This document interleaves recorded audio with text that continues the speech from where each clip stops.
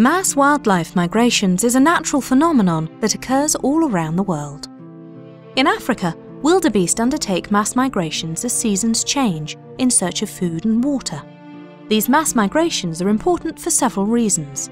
For example, these animals are food for larger predatory mammals, such as lions.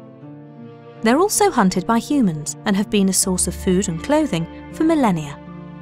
Finally, these animals are important for tourism, as many people come to see animals in the wild. Unfortunately, wildlife populations are declining in many areas in Africa. One big problem is that protected areas, such as game reserves and national parks, are too small. Human settlements outside of these areas are expanding and blocking the migration pathways these animals use. In Kenya, the population has increased from 5.4 million people in 1948 to 47.6 million people in 2019, an increase of 780%. As the population has increased, so has the rate of habitat loss, as land is used for houses and farming, leading to the construction of fences and roads, which create barriers to migration. In the Masai Mara ecosystem in southwestern Kenya, the privatisation of land has resulted in fences spreading like wildfire. Wildlife is frequently trapped inside fences and many are killed while struggling to escape. Fences block wildlife migratory routes, accelerating the collapse of wildlife migration.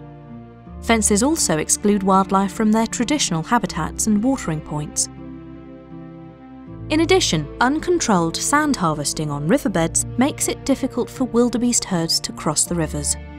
Aside from the proliferation of fences, increasing settlements, agriculture, humans and livestock, and construction of roads have also contributed to the collapse of the Mara Loita wildebeest migration.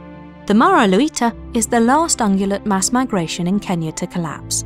A similar and more catastrophic collapse of wildlife migration occurred from 1999 to 2000 in the Athi Kaputiei ecosystem, which includes the Nairobi National Park, also found in Kenya. However, this situation can be improved. Removing and controlling the spread of fences would help make migration routes accessible again, along with expanding or increasing wildlife conservancies. Roads, railways and oil and gas pipelines should be routed away from migratory pathways. Where this is not possible, wildlife migrations could be helped by building underpasses or overpasses, where roads and other barriers cross migration routes. To initiate these projects, sustainable incentives need to be given to the local people, which would replace the earnings lost from removing the fences. Moving forward, support from the national and county governments is essential to prioritise and accelerate the development and implementation of county spatial plans and ecosystem management plans. This support, in addition to that of local communities, will be essential in safeguarding migration routes and ensuring the future of wildlife populations in Kenya.